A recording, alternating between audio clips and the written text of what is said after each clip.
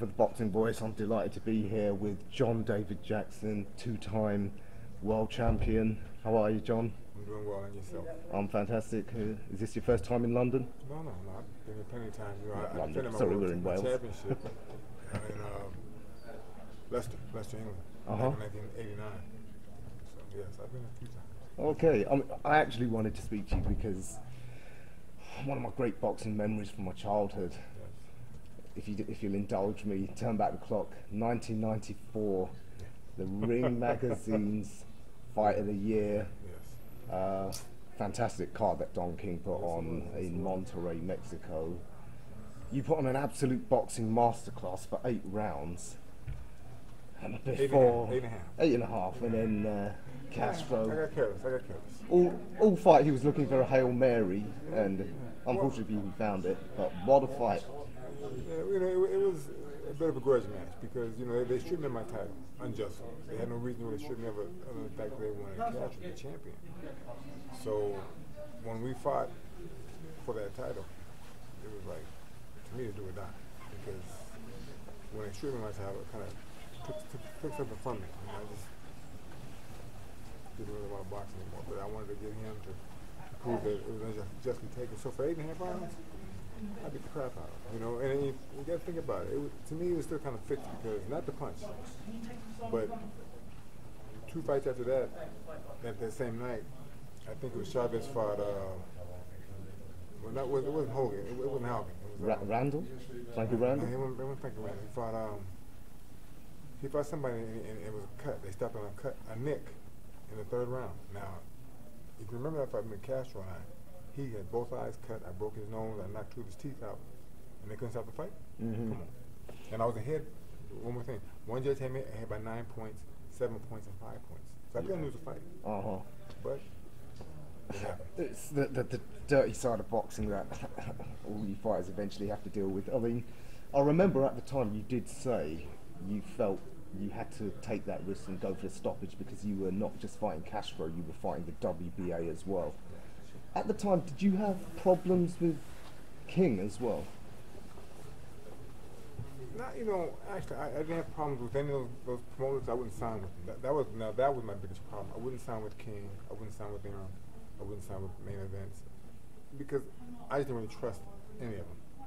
Uh, some of my friends had been with each promoter, and things kind of bad for them financially.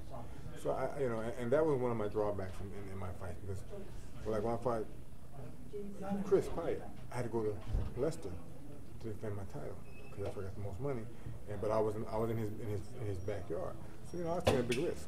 But in all my defenses, I did that because I didn't care. I, I, I, I thought I was the best. And I would go there just to you know get the what money I could get. But I, I wouldn't sign with the big promoters because I didn't trust them. And that was that was one of my downfalls. I should have signed with someone to make my road easy, but I, I wouldn't. And you know Don kept saying he wanted to sign me, and you know I signed with him after I lost to Castro. But up to that point, I didn't trust any of them. hmm Do you think maybe King wanted to punish you or send you a message that hey, that you don't sign with me, you don't you don't get any favors? Listen, he did. See, he, I did get punched because after I signed with him,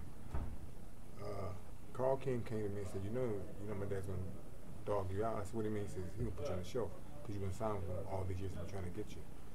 And look, you know, true to form, that's what happened. So you know, it, it was.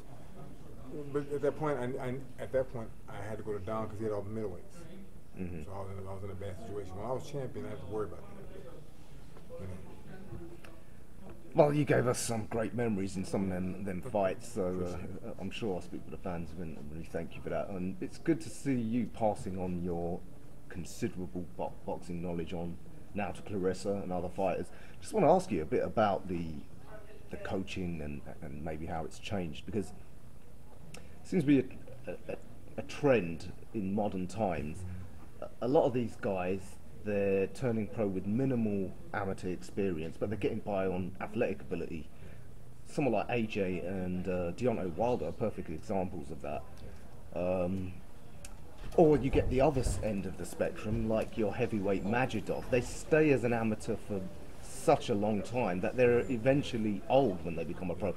Back in your day, you had a very thorough sort of amateur background. You know, you had Golden Gloves and Olympic trials, all of that, but you would turn pro and you'd still be young to pick up the, the pro game. Have you had to change your, your, your coaching because of that? Not with Claressa, obviously, because she's young and she has a tremendous amateur career, but you know, the, these other guys who don't have either much amateur experience, or in the case of Majidov, too much. I've never had to really change my style or what I do. But what, what I've come to realize in boxing is it's, it's twofold because one problem is everyone's being micromanaged. They have six, eight fights and now they want to give a title shot. You haven't had a box yet, not professional. You might be a good amateur, but there's certain things that a professional can learn, and these guys haven't been taught that. Now the second, the second half of that twofold question you gave me is the trainers and so-called out, there today are not teachers of boxing. A lot of these guys you ever watch when Roger and Floyd would do their mitt work together? Great. Was a great thing. But what people didn't realize, behind closed doors, Roger and Floyd worked. They didn't do that behind the back pat.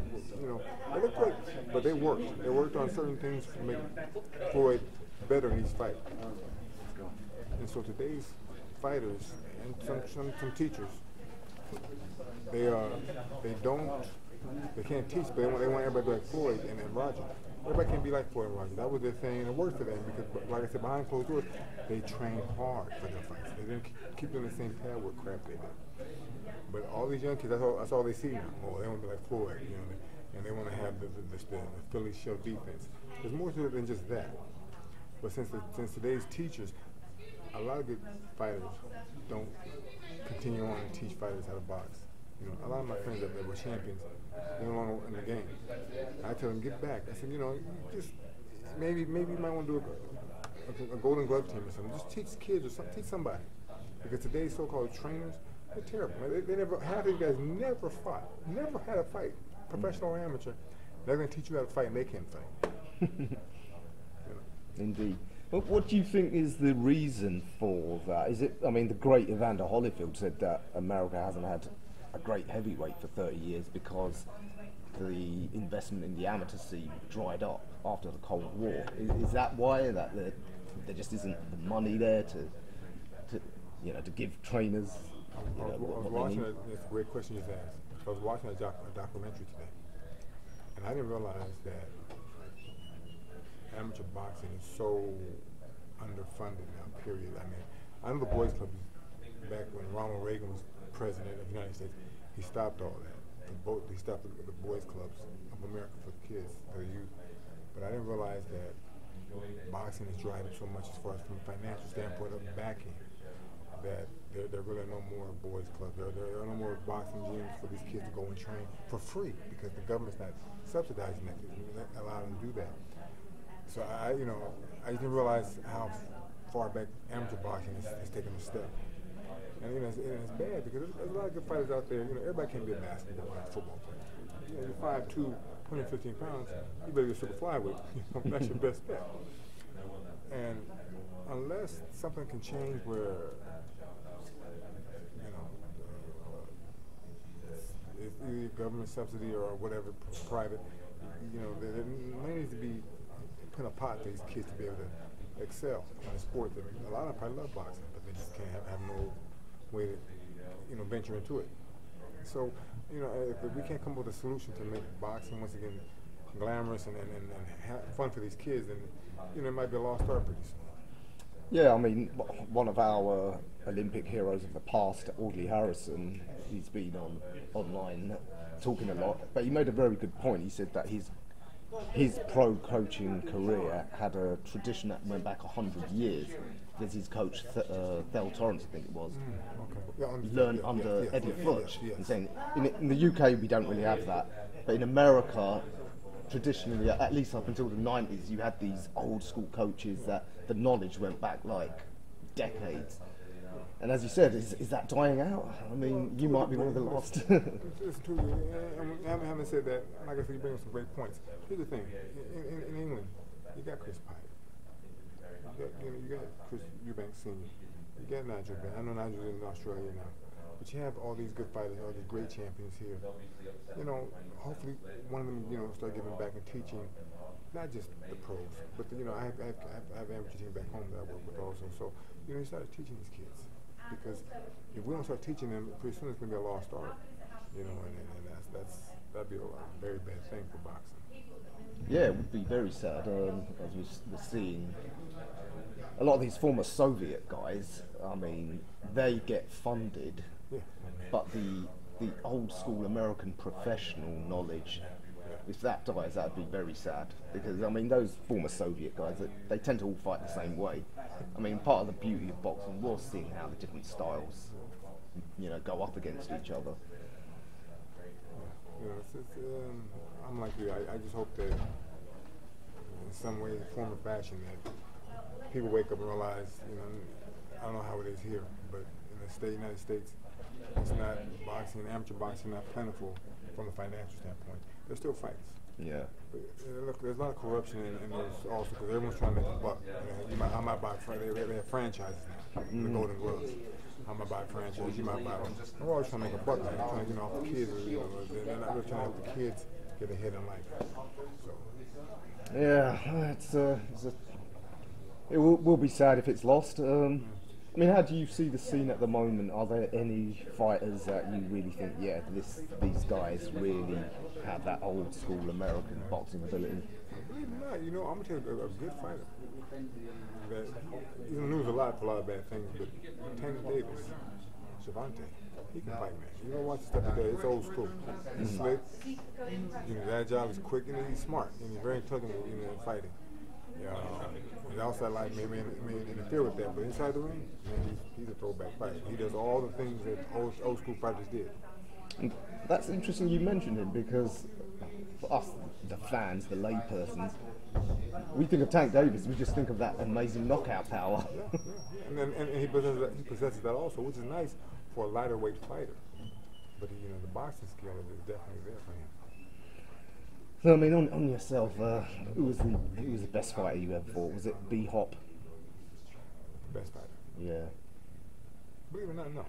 You know, Bernard was very good, but I'm gonna say Reggie Johnson, the guy that I won my middleweight title from. He was boxing, smart, you know, very, very calculated in what he did. He was one. He was. He was the only fighter I ever genuinely worried about when I fought because he could box so well, and I, you know, I was in doubt of myself for the first time that I could have boxing, you know. But I, once that bell rang, I, I did my thing. But no, Reggie Johnson was he was smart. He, you know, he had good, good, you know, decent power, decent speed. Uh, I was just blessed to have more speed than him. And I was out there, man, outmaneuver. But he was definitely a smart, intelligent fighter. hmm On, on Claressa, how, uh, how how how high can she go? I mean, with her skill set, can she can could she beat the heavyweights? You know, I with, mean, Claressa, with Claressa's, you know, her, her mindset and her skill set, she can do whatever she wants in boxing. She's, you know, and I always tell her, I said, not in a bad way. I tell her, don't take it wrong, but you fight like a guy. You fight like a man. You style. You know, most females don't fight the way you fight. That's a blessing for her. Mhm. Uh, so for her, the sky's the limit. It depends on how far she wants to take it. Uh, like she said, she doesn't really want to be a heavyweight. But, you know, hey, if it's there, take a shot. One one time deal, go do it like do like Roy. One time deal, you win it, go back down. Uh huh. Just make this, just, just just make the the history. Yeah, exactly. And uh, just lastly, on, on Majidov, we last saw him twist his ankle, Oh, snapped. And I remember you said it's going to be a long way back for him. Uh, is he is he planning on coming back? Well, I see him on Instagram. I see him working out.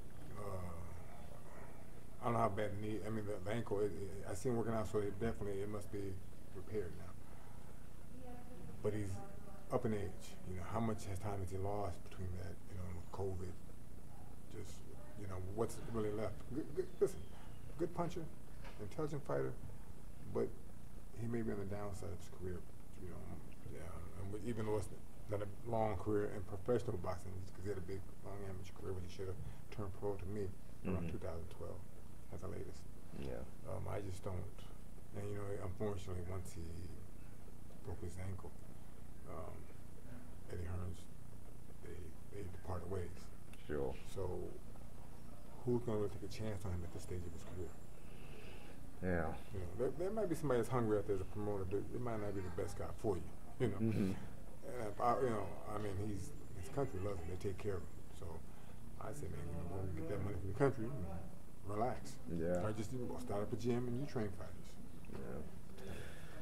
Well, John, it's been an absolute pleasure uh, taking us down memory lane and Yeah. imparting some of that awesome knowledge of yours. Uh, anything you want to add? Yeah, listen, you, uh, they're putting all these um, celebrity bouts on. Tell Cash if so anybody get this message to him, let's do it a third time. I, got- I got, yeah. I, gotta get you. I gotta get you. All 'Cause if right. we fight the second time, I beat him this home. They gave me the decision. I beat him in his hometown. I boxed the crap out. So let's do it a third time and get paid. Okay, Jorge Castro, if you're in Buenos Aires somewhere, get back into training. That's right. That's right. John David Jackson, thanks for speaking to the Boxing Voice. Thank you very much. I appreciate it. Enjoyed the video, feel free to hit the like, subscribe, and share. As always, if you want to support us to the next level, head over to the patreon.com backslash the boxing voice. We have tons of exclusive from Border Wars and title, betting shows, the list goes on and on and on. But in addition to that, if you guys have questions for fighters, trainers, and promoters, this is where you can submit them. We will run out, get these questions answered, and put it back on the show just for you guys. Appreciate it. Peace.